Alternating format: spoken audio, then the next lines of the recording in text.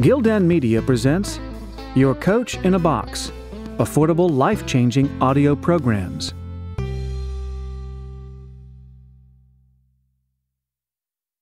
The Great Persuasion Reinventing Free Markets Since the Depression by Angus Burgin.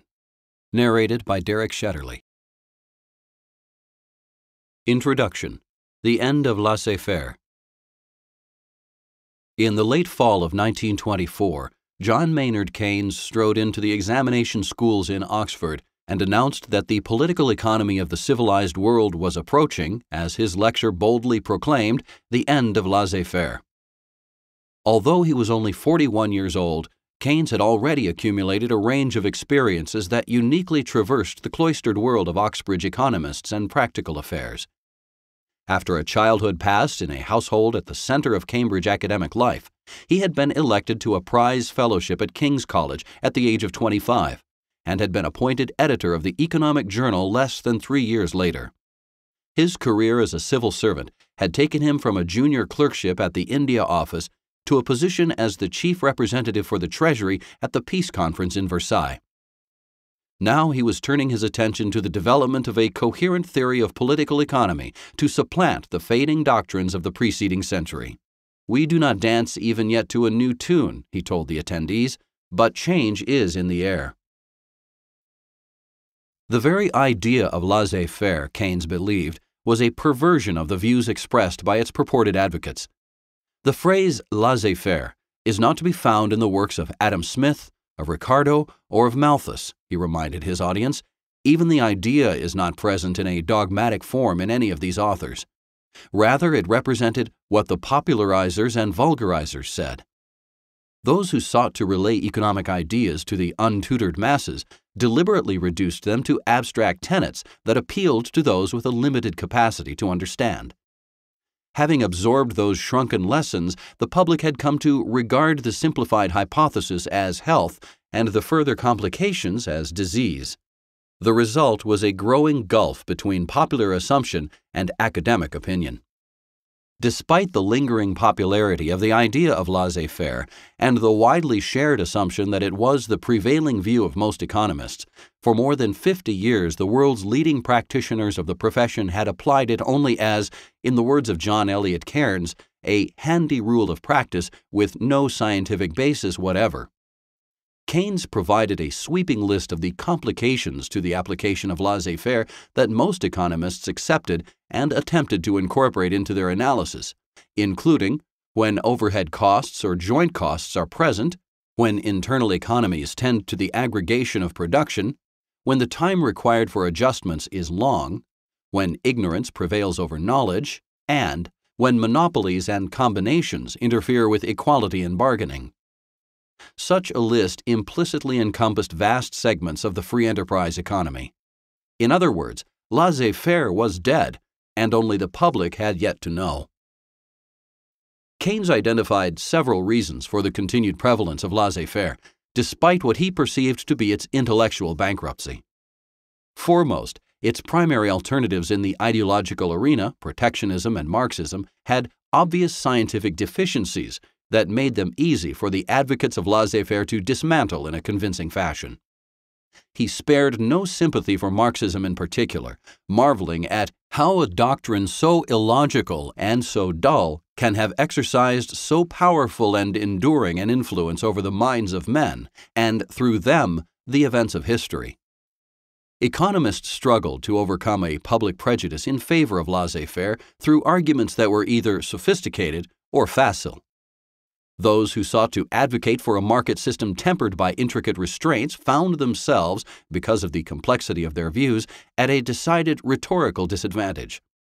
And if opinion devolved, as it often did, into a competition among abstract generalities, the concept of an unadulterated laissez faire was easier to accept than its equally simple minded alternatives. Finally, a presumption in favor of unhindered markets maintained a close conformity with the needs and wishes of the business world of the day. Advocates of laissez faire had wealthy and influential benefactors who could always ensure it a prominent hearing in the venues of political power. Keynes was confident that despite all its inherent advantages, the dominance of laissez faire in the public sphere was gradually drawing to a close. His certainty in this regard was attributable in part to his famous faith in the capacity of economic ideas to filter down, over time, to the practice of everyday life. Sooner or later, he believed, the near unanimity of economists' critiques of laissez faire would manifest itself in the assumptions shared by the public at large. Perhaps more important, the institutional structure of business was working to mitigate the preeminence of the profit motive. The disassociation between ownership and management in modern organizations inspired, in Keynes' view, a diminishing emphasis on dividends. Managers weighed improvements in the bottom line against the potential disapprobation of their customers or a broader public and increasingly prioritized the latter. Businesses are, as time goes on, socializing themselves, Keynes concluded. The battle of socialism against unlimited private profit is being won in detail hour by hour. The weight of economic opinion and institutional practice were converging to overturn economic assumptions that had lasted long past their due. To argue against laissez faire was to assault a lethargic monster that, in Keynes's terms, had ruled over us rather by hereditary right than by personal merit. He did not doubt that it would be slain. Keynes did not live to develop a comprehensive statement of his political views. Although The End of Laissez Faire made gestures toward the elaboration of an emerging social philosophy, it was, as his preeminent biographer has noted, far too abbreviated and incomplete to be treated as a Keynesian manifesto. A figure of his significance could little be expected to explain and justify his worldview during a university lecture that was comfortably endured in a single sitting. Nevertheless, it provides as good an introduction as any other to his advocacy of a market system saved from its worst excesses. Keynes articulated an understanding of capitalism as a mode of social organization that demonstrated both irreplaceable merits and undeniable flaws. For my part, he told his audience, I think that capitalism, wisely managed, can probably be made more efficient for attaining economic ends than any alternative system yet in sight but that in itself it is in many ways extremely objectionable. He envisioned a public sector that would engage in limited but forceful interventions to ameliorate the problems that were engendered when individuals were left to act alone. The important thing for government is not to do things which individuals are doing already and to do them a little better or a little worse, he explained, but to do those things which at present are not done at all. Such interventions would help mitigate the failures of the market without doing violence to its essential underpinnings. His proposed modifications, he asserted, were in no way seriously incompatible with what seems to me to be the essential characteristic of capitalism, namely the dependence upon an intense appeal to the money making and money loving instincts of individuals as the main motive force of the economic machine. The end of laissez faire did not signify to Keynes the end of marketplace life, it was, he believed, a mode of preservation through restraint. Keynes's lecture stands as both a prescient forecast and a founding document of an era when a conviction that markets required extensive oversight was broadly shared. Even at the height of the 1920s, the reviews that Keynes's lecture received within the economics profession expressed dissatisfaction with the generosity with which he treated laissez faire. After the onset of the Great Depression at the decade's end, the remaining popular support for free markets rapidly dissipated. Governments enacted a range of policies, from the adoption of new tariffs to the abandonment of the gold standard and the implementation of extensive social programs that, in Eric Hobsbawm's sweeping terms, destroyed economic liberalism for half a century. The prestige of the economics profession which had conspicuously failed to predict the onset of the crisis, plummeted from the highs of the preceding decade to an unprecedented low. Even the economists who are now remembered as the Depression year's most committed allies of free markets eventually became convinced that the era of their feasibility had passed. The letters of the University of Chicago economist Frank Knight are a testament to the depths to which laissez faire had fallen. We cannot go back to laissez faire in economics, even in this country, he wrote to a colleague in the summer of 1933. Now it seems to me inevitable that we must go over to a controlled system, he wrote later that year, adding that his only question was whether any sort of liberty, especially freedom of consumption and intellectual freedom, can be maintained to a significant extent. The 1930s were an era when even many of the economics profession's most strident advocates of marketplace freedoms accepted that they would need to be curtailed to a substantial degree. The predictions in The End of Laissez Faire, for all their manifest foresight, went unfulfilled in one crucial respect.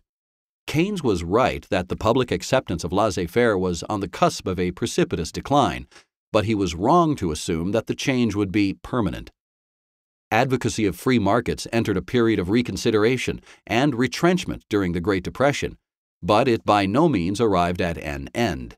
Instead, the story of the half century after the onset of economic crisis is in part one of its triumphant return.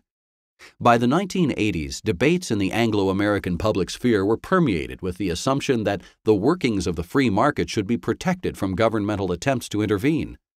Recipients of the economics profession's highest honors were calling for a comprehensive rollback of the public sector. A thriving community of generously funded policy institutes had formed in support of free market ideas, and a host of journals, magazines, and newspapers had embraced identities as public proselytizers for laissez faire. The President of the United States and the Prime Minister of the United Kingdom perceived themselves as stalwart allies of the free market and cited its preeminent philosophers in justification of their political ideals. Keynesianism, rather than laissez faire, had come to seem a relic of a rapidly receding economic world. The events that precipitated this evolution in popular assumptions about political economy are only beginning to be understood. Their narrative relies, ironically, on precisely the relationship between ideas and political change that Keynes cited as a rationale for his confidence that laissez faire was on the wane. The shift in popular approaches to the market occurred on many levels, and many actors and institutions played constitutive roles, but it could not have occurred without the committed efforts of a transnational community of ideas.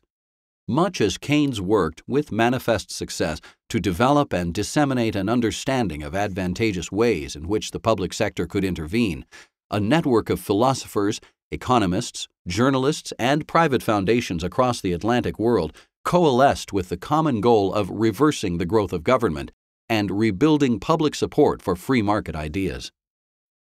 As distant colleagues, they had weathered depression and war. In future years, they would experience perceptions of public irrelevance, impediments to academic advancement, countless political defeats, and eventually an extraordinarily rapid institutional and ideological ascent. In the process, they sought to construct a new philosophy of the free market and remained resolutely convinced of the capacity of their abstract discussions, over time and with the aid of external events, to transform the practice of popular politics. This is the story of the community they built, the ideas they advocated, and the enduring legacy of their attempt to reconstitute the theory and practice of capitalism. Despite the central role market advocates have played in American politics during the past three decades, the narrative of their return to prominence has proved difficult to unravel. For many years, observers struggled to explain how and why the celebration of markets and the condemnation of planning regained a hold on the popular imagination after an extended period of dormancy. They expressed confusion at the populist embrace of economic policies that seemed to redound to the disadvantage of the poor. And they saw little coherence in a political coalition that urged the preservation of social traditions while supporting a free market system that often served with ruthless efficiency to undermine them. The most influential explanations of these phenomena long emphasized social factors that lurked beneath the abstract language of political and economic ideals, including anxieties over declining status in a fast changing cultural and technological environment, and a desire to create a colorblind language capable of preserving racial privileges that seemed in danger of falling away. But in the absence of a convincing account of the development of conservative ideas, it will remain difficult to understand the contours of a movement that has exerted broad influence over the structure of public debate. Few would contest that the conservative movement was inflected by social and racial anxieties, supported by many who were unlikely to benefit from its economic proposals, and characterized by the simultaneous advocacy of contradictory views. These interpretive models, however, shroud important aspects of the movement behind an analytic veil. A social philosophy is rarely comprehended by reducing its arguments to social or material interests, or by distilling its tenets into rigidly formalized schemes. The Homo economicus is useful only as a formal abstraction, and few of us would withstand an interpretive procedure that ceased with the judgment that there were points of apparent conflict among aspects of our stated worldview. Our experience of the social environment is relentlessly complex, and our political perspectives are formed through a dynamic and ever changing interaction among abstract idealism, purposive strategy, emotive inclination, and intuitive response. They are provisional responses to an always incomprehensible world. Understanding why individuals believe what they do and evaluating the comparative validity of their beliefs require a mode of analysis that acknowledges the entangled nature of the problems it attempts to address. In recent years, serious critical studies have emerged on several of the conservative intellectual movement's most challenging and influential figures, including Leo Strauss, Friedrich Hayek, Whittaker Chambers, and Ayn Rand. Research into the development of conservatism at its grassroots level has yielded an earnest and sustained attempt to understand its subjects' worldviews. New interpretations have clarified the social and cultural origins of the potent combination of free market advocacy and evangelical Christianity. And a proliferating literature has commenced the formidable task of chronicling the institutional structures that helped foster and propagate conservatism in the public sphere. This emerging research has begun to unravel the complex points of intersection that developed during the 20th century among business people, financial institutions, political associations, and free market advocates. It has illuminated the relationship between the Cold War, the Rand Corporation, and the rise of rational choice theory in contemporary policy discourse. It has identified the institutional levers that conservatives maneuvered to transform the practice of the legal profession and it has helped clarify the essential role played by the popular proselytizers in the expansive orbit of the National Review. Cumulatively, these contributions represent a paradigm shift in the way the history of conservatism is written. Ideas and intellectuals are now broadly acknowledged to have played a constitutive role in the conservative turn, and advocacy organizations have been assimilated as essential components of its instigation of political change. This book provides both a contribution to this developing literature and an implicit revision. It takes the detailed analysis of conservative ideas out of the realm of intellectual biography, where it has largely remained, and situates the major figures in a dialogue with one another. By focusing on networks and processes of intellectual exchange, it devotes substantial attention to institutional context without inferring that the environment exerts hegemonic force over the generation and propagation of ideas. And it abandons the close observance of national boundaries that has continued to define the parameters of research into the origins of the conservative movement. The result is a narrative that examines how its central figures developed, explained, and justified their beliefs, how they alternately influenced and opposed one another's opinions, how they navigated the perilous relationship between politics and philosophy, and how, over time, their assumptions and arguments discreetly but decisively transformed. It approaches ideas neither as abstractions that unfold in a realm wholly distinct from politics, nor as mere tools that are invoked to engender a desired change. The leading figures of the conservative intellectual world engaged, like most of us, in quiet and at times unreflective acts of navigation across the porous boundary between the two. As Keynes concluded the end of laissez faire, he reminded his audience that discussions of abstract economic theory often serve as proxies for debates over the kind of world in which we want to live. The problems of economics cannot easily be severed from the problems of philosophy. The fiercest contests and the most deeply felt divisions of opinion, he predicted, are likely to be waged in the coming years not round technical questions, where the arguments on either side are mainly economic, but round those which, for want of better words, may be called psychological or perhaps moral. Debates over economic policy occur on two levels. They encompass considerations of both how to achieve specified ends with maximum efficiency and what the ends themselves should be. Advocates of a particular approach to political economy rarely achieve much traction in the political arena without devoting close attention and rhetorical emphasis to the latter.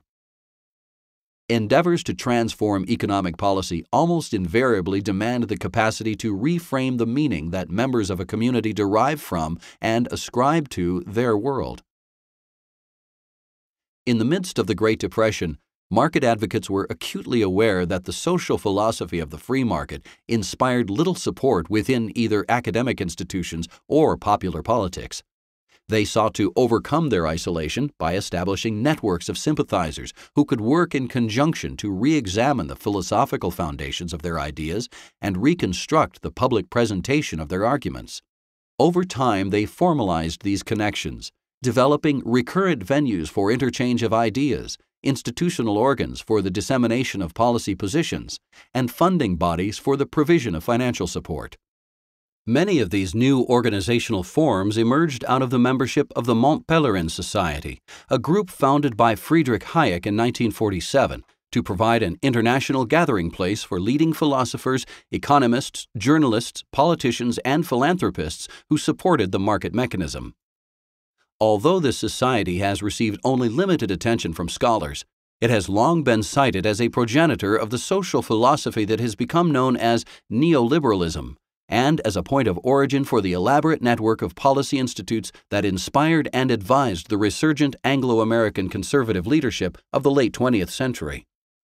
Its members played a decisive role in the construction of the contemporary market centered world. An exploration of the rhetoric of the Society's members in its early years reveals a movement far less doctrinaire than the conventional narrative would indicate. What emerges is a growing awareness of a set of complex tensions confronted by market advocates in the post war era. Early members of the Society desired to establish philosophical foundations for marketplace freedoms, but expressed deep skepticism toward the intolerance and irrationality of unsubstantiated political absolutes. They sought to reach out to the religious believers and the economically disadvantaged individuals whom they believed 19th century market advocates had mistakenly eschewed but demonstrated hostility toward theological dogmatism and the redistributive state. They glorified the achievements of capitalism, but at times expressed dismay at its cultural and moral effects. They valorized liberty, but maintained the vital need for collective moral traditions. They defended capitalism as a theory of individual choice, but expressed deep suspicion of the implications of political democracy. Their similarities accentuated rather than elided the points of difference that drove them apart. As a result of the retrenchment that accompanied the onset of the Depression and persisted through World War II, all the assumptions that this community ostensibly shared were subject to reconsideration. The financial crisis and subsequent political instability left them broadly convinced of the need for a social philosophy that transcended the abstract dictates of laissez faire. They agreed that if capitalism was going to be saved from the pressures that were continuously eroding its foundations, its core assumptions would need to be rebuilt. But they disagreed sharply and continuously when the conversation turned to identifying those aspects of the capitalist order that were sacred and those that could be revised, or those morals that might be coded as absolute and the mechanisms of enforcement that would make them so. The post war conservative intellectual world, with all its points of implicit unanimity and internecine discord, developed out of this atmosphere of uncertainty. That these problems were posed by cosmopolitan intellectuals from around the Atlantic world, engaging together in earnest inquiry into the philosophical foundations of their social order, complicates the common assumption that the conservative project was parochial in its origins and strategic in its intent. It was the product of a collapsed rather than a rigidified worldview. The state of uncertainty that characterized market advocacy in the 1930s and 1940s was evident in, and to some extent precipitated by, an inability to build consensus about conceptual apparatuses that many saw as ambiguous or obsolete. Terms like liberalism or democracy, capitalism or socialism today no longer stand for coherent systems of ideas, Hayek observed shortly after the conclusion of World War II. He saw them instead as aggregations of quite heterogeneous principles and facts that had become linked to certain words by means of a historical accident. Today, we continually resort to anachronism when we rely on labels of this kind. As will become apparent, in the interwar and early postwar years, neoliberalism held a valence on the rare occasions when the term was employed that diverged significantly from that associated with it today. The word libertarian was unfamiliar to most members of the society and was only infrequently used. The Society's members were almost unanimous in their rejection of conservatism, which they associated with the preservation of a status quo that they sought to overcome. Traditionalism and neoconservatism were to emerge as political signifiers only in an unforeseeable future. Occasional attempts to rehabilitate the concept of Whiggism were impaired by its archaic undertones. And the word liberal, otherwise a favorite, had been irrevocably altered by its increasing association with a progressive worldview. It is sometimes possible to use these terms without distorting their contemporary valences. Most of the early members of the Mont Pelerin Society believed that they were reconsidering the foundations of liberalism in order to prevent its further decline, and free market economists became active participants in a world of conservative publications, policymakers, and advocacy groups in the post war United States. But these gestures at classification should not obscure the sense of unease, uncertainty, and discord that structured these communities and their vocabularies of dissent. We cannot rely on static renditions of the philosophies of the present if we wish to understand the dynamics of an earlier time. The more strident market advocacy of recent years emerged only after an extended period of contestation and debate. Over time, the economic and political crisis of the 1930s receded. Academic disciplines grew increasingly specialized, and free market economists found new champions in print media and popular politics. Attempts to reinvent the philosophy of liberalism and move beyond the static dictates of laissez faire lost the sense of urgency that had impelled them in earlier years. A younger generation of economists came of age, oriented toward the mathematical language of post war economics and responsive to the political debates of the Cold War public sphere. By the early 1960s, Milton Friedman had emerged as the central figure of this new cohort, reframing a number of problems central to the economics profession and expounding the virtues of the market to a popular audience in unconditional terms. The dissemination of his ideas was made possible by the presence of audiences more receptive to free markets and institutions better equipped to advocate for them than had been available at the outset of his career. He took advantage of these opportunities to abandon the equivocations of his predecessors and imbue the rhetoric of market advocacy with a renewed sense of certainty. Capitalism, he argued, was an engine of prosperity that rewarded merit and produced superior outcomes in all but the rarest cases. And the many ills of modern life were products of misguided constraints on its workings rather than demonstrations of its flaws. Friedman's confident language signaled that the moral quandaries and programmatic ambiguities of an earlier generation had been left behind, and a great persuasion had begun. The narrative of the Mont Pelerin Society is one of interrelated failure and success. Its members established for themselves an extraordinarily ambitious philosophical program that they proved unable to achieve. What began as a grand gesture of unity soon broke apart into factions with differences that its internal dialogue served to exacerbate rather than resolve. At the same time, the Society's attempt to rehabilitate free markets in the public sphere yielded, in part through the concerted actions of its members, spectacular results. Together, they helped precipitate a global policy transformation with implications that will continue to reverberate for decades to come. To chart the transmission of ideas across generations and into politics is necessarily to find patterns of distortion, and the intersection of these dual narratives of decline and ascent inspired a sense of conflict among those who were present at the Society's creation. As they grew older, many of its founders came to view the emboldened market advocacy of its later members as a violation of its original ideals. They looked with mingled admiration and disapprobation at the world that Milton Friedman had wrought. The story of the Mont Pelerin Society is sometimes cited as an exemplar of that rare phenomenon, a group of intellectuals who managed to have a palpable impact on the politics of their time. It is told less often as a parable of the perils, in the exercise of ideological influence, of success.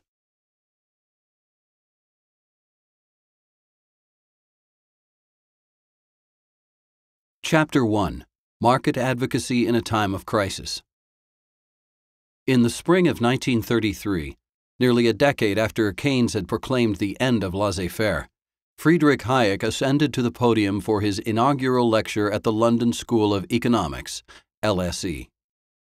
His subject, like Keynes's, was the shift away from classical economics, but in all other respects the circumstances of his presentation markedly differed. In the intervening years, the world had descended into a state of severe depression, casting the established paradigms of the economics profession's leading figures into doubt even as they assumed increasing prominence in the public sphere.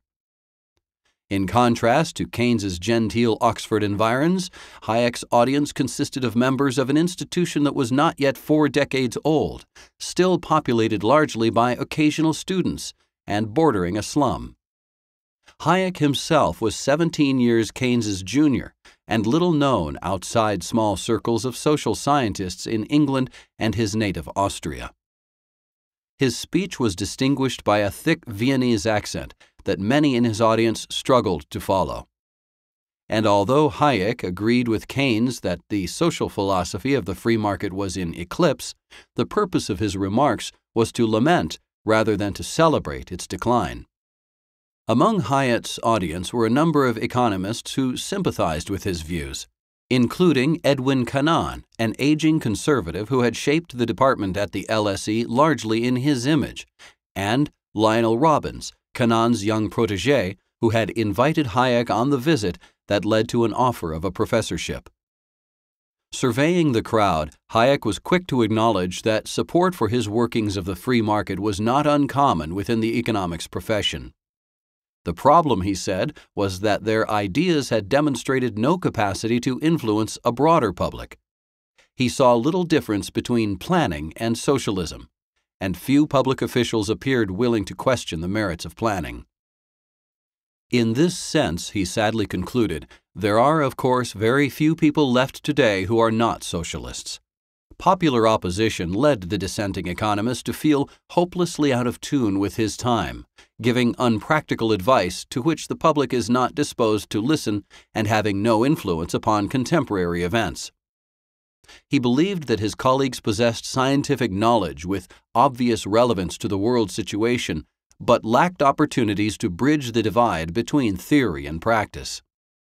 Hayek was in the early stages of a career in which he would often feel that his views ran against the tenor of the times, but at no other period was the contrast as stark as in the early 1930s.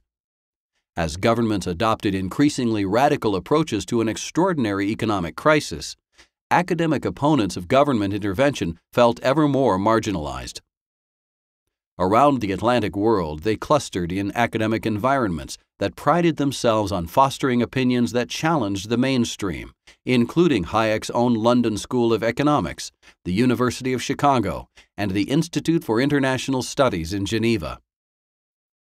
The leading economists in each of these institutions expressed despair at the trajectory of public opinion.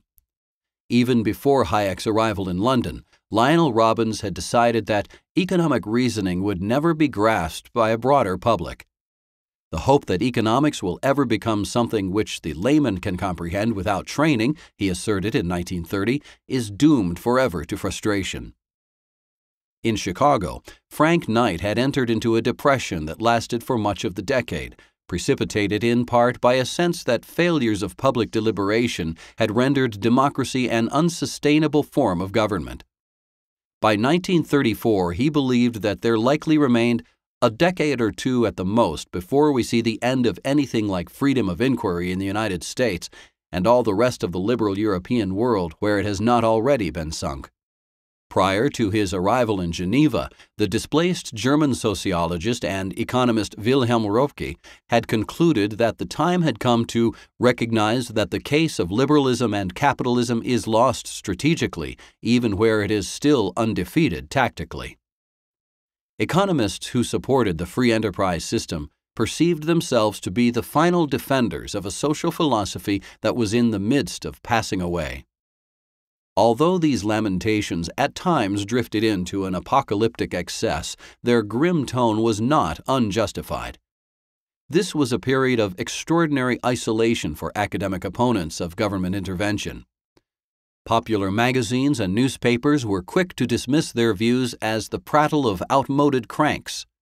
Conservative political parties, confronting the specters of communism and fascism in the international environment, even as they struggled to cope with the economic crisis at home, no longer provided reliable havens for economic orthodoxy. Established industries, eager to maintain protective tariffs and negotiate monopoly advantages with regulatory bodies, remained untrustworthy allies at best. And despite Hayek's words to the contrary, even within the economics profession, market advocates were increasingly disregarded. Among American social scientists, the left leaning historicism of institutionalist economics remained a powerful force, and in England, Keynes had become the preeminent economist in both the academic world and the public imagination. Soon after the publication of The General Theory of Employment, Interest, and Money in 1936, Keynesianism had permeated economics departments on both sides of the Atlantic. Economists in London and Chicago found ever fewer allies within both the profession and the public. In the Anglo American world, since the onset of the Industrial Revolution, the marginalization of market advocates during the early and middle years of the 1930s remains a singular event. This can be attributed in part to the loss of trust in markets that tends to accompany the onset of severe financial crisis. But while events seem to shape the horizons of a discursive world, their hold on the ideological life of a community is not complete. However dismayed economists may feel at the level of public debate, their ideas, arguments, and assumptions all help frame its content and structure. This influence is most palpable in periods of uncertainty, when settled assumptions can suddenly become objects of debate within a broadened public sphere. Hayek's frustrations can be attributed in part to the tenor of the times and in part to the rhetorical force of the message that he and his colleagues conveyed. Although the market advocates at the LSE and the University of Chicago shared a skepticism about the accelerating government interventions of the time, their opinions were rarely united and often opposed. In London, Lionel Robbins and Friedrich Hayek initially espoused an extraordinarily constrained vision of the government's ability to redress the economic crisis. Blaming the downturn primarily on a business cycle that had become overstimulated by government interference, they argued that further interventions would only repeat the same disastrous pattern. Although their views developed pockets of influence, by the mid 1930s, their counsel of quietism was increasingly ignored by a public and a profession that were eager to find positive solutions to a seemingly intractable crisis. In Chicago, Frank Knight, Jacob Viner and Henry Simons developed a more moderate response to the events of the time. All three were quick to denounce the excesses of laissez faire, and they varyingly embraced the prospect of public works projects, progressive taxation, social insurance, and vigorous antitrust policies. This brought them much closer to the profession's mainstream than their colleagues in London, but made it difficult for others to associate them with any ascertainable doctrine or plan. Considered in conjunction, the economists in London and Chicago reveal a world of market advocacy that was very much in disarray. Some corners held firm to reactionary extremes that few were willing to follow. Others much more readily made concessions but proved incapable of articulating a coherent oppositional worldview. The leading figures on both shores remained reluctant to endanger their scientific authority by wading into venues of popular debate, and instead sought to leverage their influence primarily among their colleagues in the profession. They also shared no institution in which they could discuss their ideas, developed new rhetorical strategies, establish networks of communication, or assist younger colleagues who were sympathetic to their views. Instead, they pursued their ideas in discrete universities in separate countries, connected only by the lectures or personal friendships that occasionally inspired them to make the slow journey across the Atlantic. In some cases, they devoted as much energy to attacking one another as they did to contesting those with whom they more vociferously disagreed. Their ideas remained fragmented, and they failed to adopt anything resembling a common voice. Businesses demonstrated little interest in funding the world of ideas, and few in the academic world made any efforts to identify themselves as members of a purposive group. Without finding rhetorical traction among themselves or significant sources of institutional support, they had little capacity to influence a public that was already being courted by ideological communities that were better organized and shared a more cohesive point of view. Hayek was a thoughtful observer of institutional dynamics, and he came to view the challenges he and his colleagues faced as an opportunity to learn lessons that would prove valuable in future years. In his inaugural lecture in 1933, he was already tempering his pessimistic views on contemporary politics with optimistic pronouncements about long term processes of ideological change. Public opinion, he informed his audience, can clearly be traced to the economists of a generation or so ago.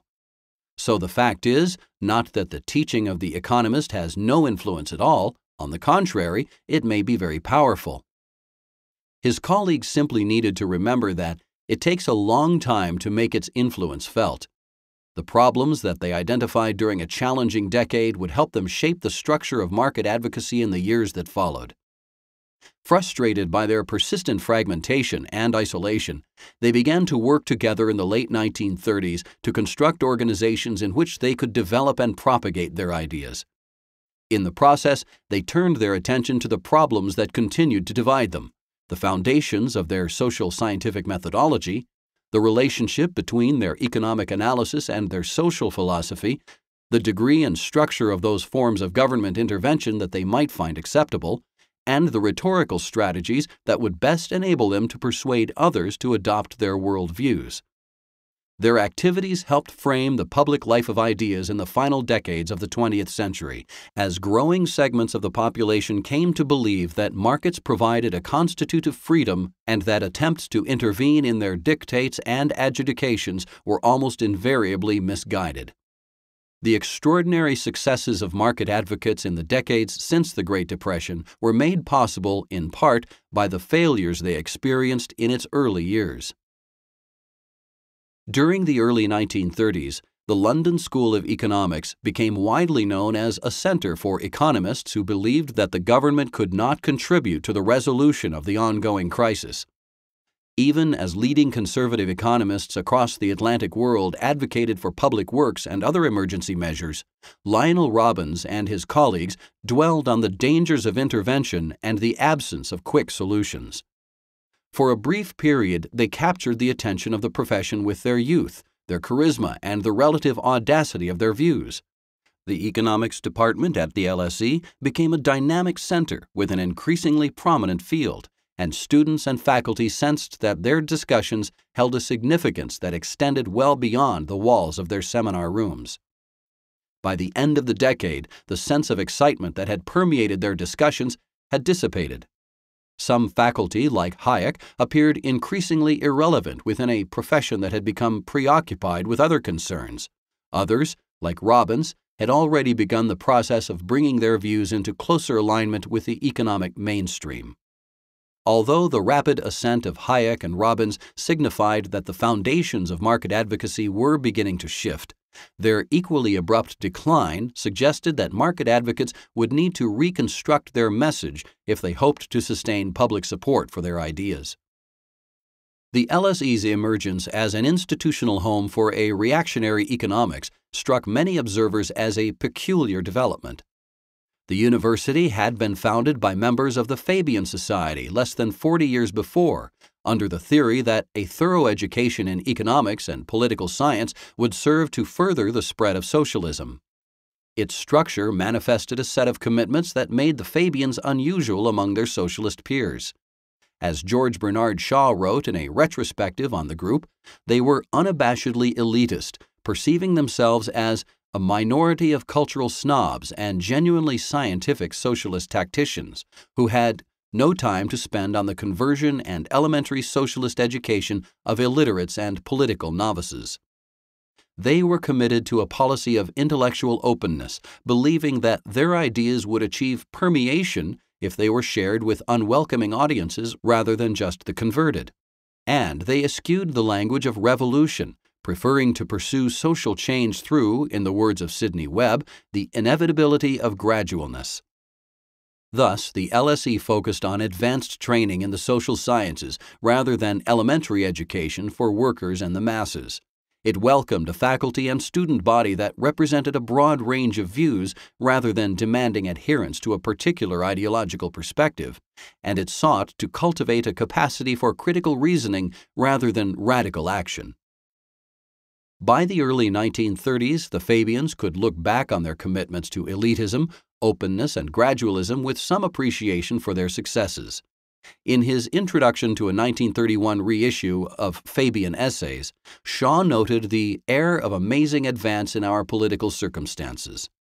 A Fabian socialist served as prime minister. Two of the Society's original essayists were in the House of Lords, and Parliament itself swarmed with Fabians. Further, the LSE was flourishing. In the two decades after 1919, its full time teaching staff more than quadrupled, and the percentage of students considered occasional had halved. Its rapidly expanding infrastructure earned the school the epithet the empire on which the concrete never set. And its students, who represented a broader range of nationalities and more varied economic backgrounds than their counterparts at Oxford and Cambridge, were widely known for their socialist leanings. Much of the school's dynamism was attributable to its commitment to open intellectual inquiry and the sometimes heterodox appointments that institutional mandate inspired. The cost of such a mandate, of course, was a lack of control over the political opinions of the faculty. At times, this resulted in peculiar ideological discontinuities. The school's first director, for example, later went on to serve as a conservative member of parliament. The disparity the Fabians found most vexing, however, was the reactionary reputation of the school's growing body of economists. Beatrice Webb, one of the school's founders, sprinkled her diary entries throughout the 1930s with disdainful references to the theories that had become associated with its economics faculty. Although in personal interactions she found Robbins good looking and pleasant, in intellectual matters she found him and his colleagues to be dogmatic and theoretical, ultra individualist apologists for profit making capitalism, fanatical individualist economists, followers of the laissez faire of Nassau Senior and Herbert Spencer, and, quite simply, our antithesis at the school. The Fabians' commitment to ideological openness led the institution they founded to harbor advocates of precisely the economic theories that it had been established to overcome. As is often the case, the intellectual trajectory of the department can be traced back to a single appointment the arrival of Edwin Cannan as the school's first chair of political economy in 1907. Cannan shared some important similarities with the founders of the institution, including a belief that societies should change slower than oak trees, rather than through the sudden efforts of inspired geniuses. But unlike the Fabians, his commitment to gradualism emerged from a deeply conservative sensibility. Cannan attributed his support for the market mechanism to skepticism about the available alternatives rather than any ardent enthusiasm for its workings. Modern civilization, nearly all civilization, is based on the principle of making things pleasant for those who please the market and unpleasant for those who fail to do so, he observed in An Economist's Protest. And whatever defects this principle may have, it is better than none. When Cannan had the opportunity to choose between established practice and an emerging alternative, he almost always opted for the former. Thus, he became one of the most prominent academic advocates for the return to the gold standard at its pre war level in the 1920s, a position that would harm his reputation in later years. he expressed dismay at economists' increasingly technical methodologies during the final stages of his career, arguing that his colleagues worshipped abstract figures like the stone and wooden idols of more degraded religions. And he absolutely despised Keynes's newfangled theories, calling him the second most mischievous pseudo economist, Marx being the first and the rest nowhere. Cannan did not have the conventional attributes of an institution builder. Throughout his tenure at the LSE, he maintained only a part time affiliation, commuting to his teaching engagements from a residence in Oxford.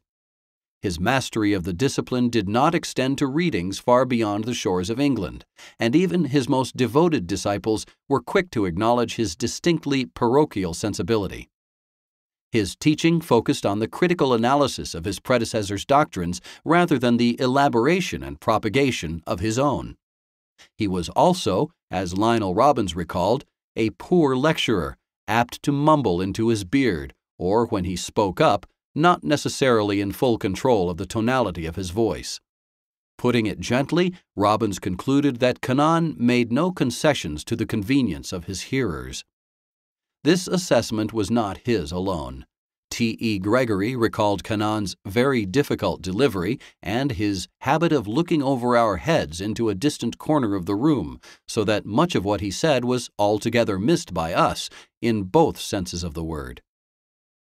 These qualities served to narrow his range of disciples considerably and to lead his public influence to pale in comparison with that of Keynes, his younger and more dynamic counterpart in Cambridge.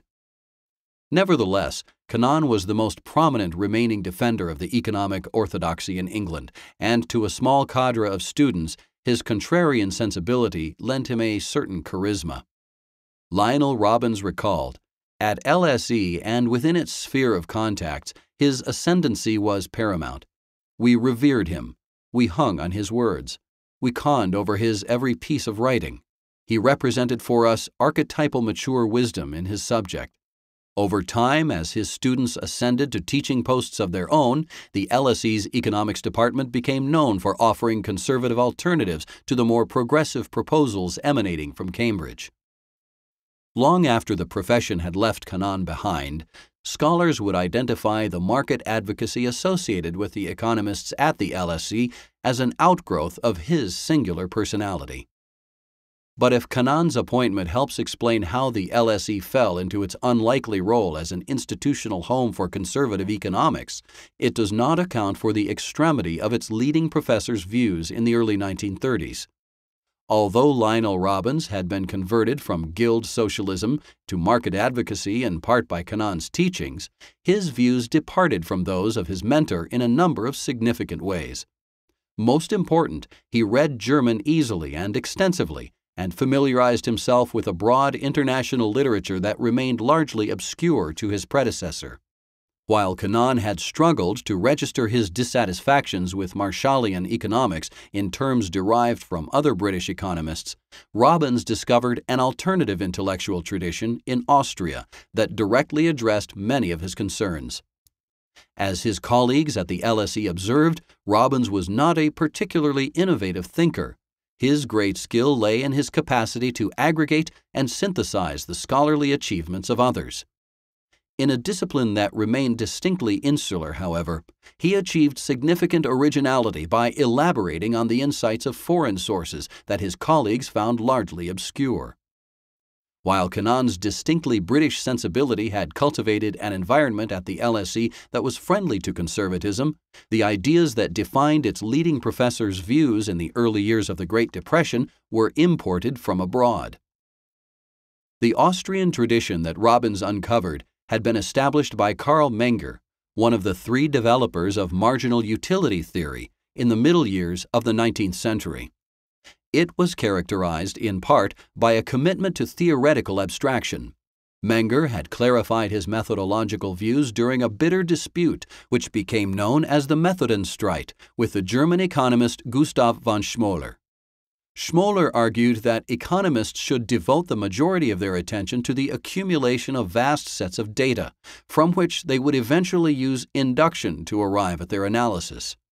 Menger did not deny the benefits of historical information or inductive reasoning, but he believed that economic theory emerged primarily through deductions from first principles.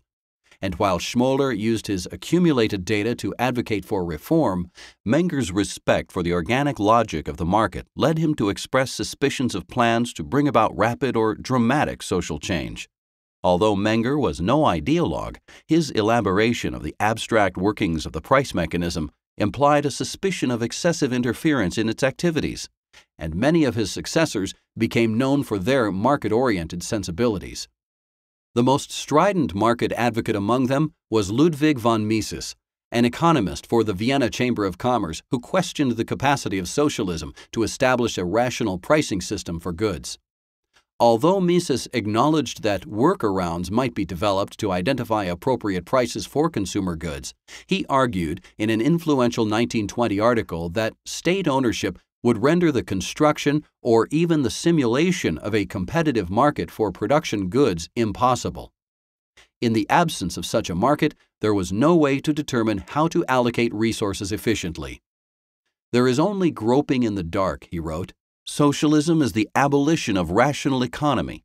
Mises followed this article with Die Gemeinwirtschaft, a book that provided a much more extensive economic and cultural critique of the socialist worldview and ignited a debate between socialist and free market economists that persisted for decades.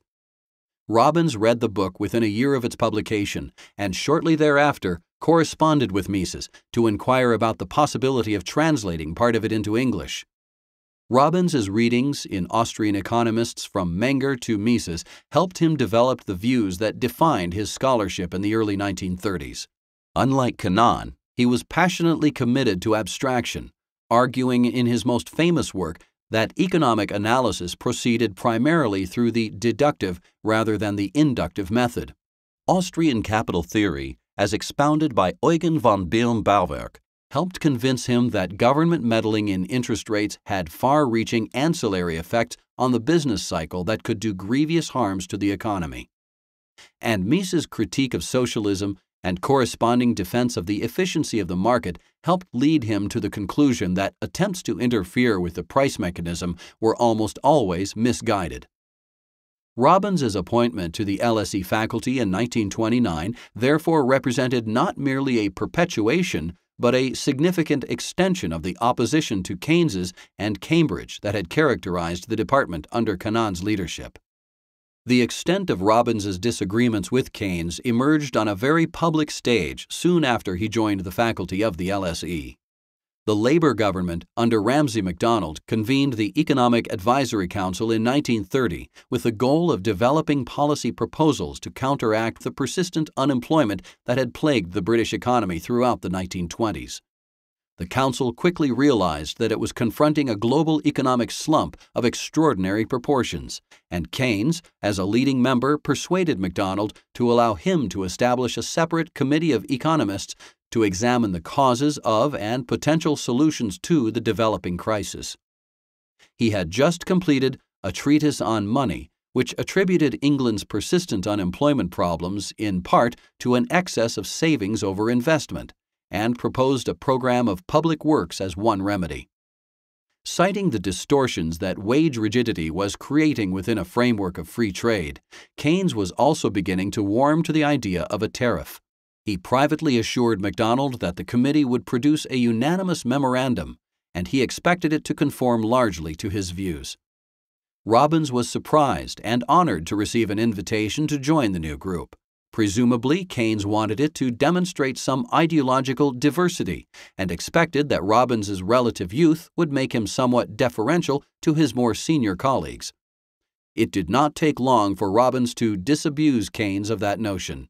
Citing an international literature that was largely unfamiliar to the other members of the committee, Robbins argued that many of the group's central assumptions were ill founded. He encouraged them to solicit the opinions of younger scholars from other countries, suggesting as one possibility the Austrian economist Friedrich Hayek, who had recently written an article criticizing public works proposals in the United States.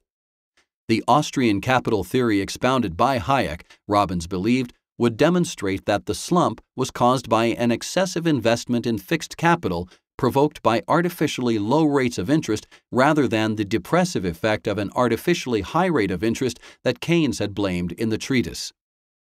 Robbins argued that the government, rather than accepting wage rigidity as a given and trying to encourage investment, should promote flexibility and avoid artificial stimulations that ran the risk of provoking another unsustainable boom.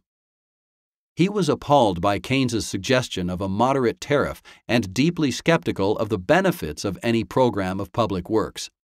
Keynes was dismayed by Robbins's intransigence and expressed little interest in soliciting opinions from foreign scholars. Although other members of the committee were sympathetic to some of Robbins's criticisms, he stood alone in his refusal to sign a compromise memorandum, demanding instead to submit a minority report. Keynes's failure to achieve unanimity represented a significant setback in his attempts to leverage the prestige of the profession in support of his public policy views, and his outrage at Robbins's insubordination set the stage for a decade of intense disagreements between Cambridge and the LSE. Shortly before engaging in these public disputes with Keynes, Robbins had arranged for Hayek to present a series of lectures at the LSE in January 1931. The fortuitous timing led some to conclude that Robbins was drawing on Austria for intellectual reinforcements. While the controversy about public works was developing, the Cambridge economist Joan Robinson recalled, Professor Robbins sent to Vienna for a member of the Austrian school to provide a counter attraction to Keynes. As a star pupil of the distinguished economist Friedrich von Wieser, and one of the most active members of a regular private seminar on economic theory and social scientific methodology that Ludwig von Mises held for young Viennese intellectuals beginning in 1924, Hayek had developed an impressive range of connections throughout the Austrian academic world. He also was unusually discursive in Anglo American political economy, in part because of connections formed during an extended research visit to New York City in 1923 to 1924 and at international conferences in subsequent years. Nevertheless, at the time he was still a young and little published economist, caught within an We hope you enjoyed this preview. To continue listening to this audiobook on Google Play Books, use the link in the video description.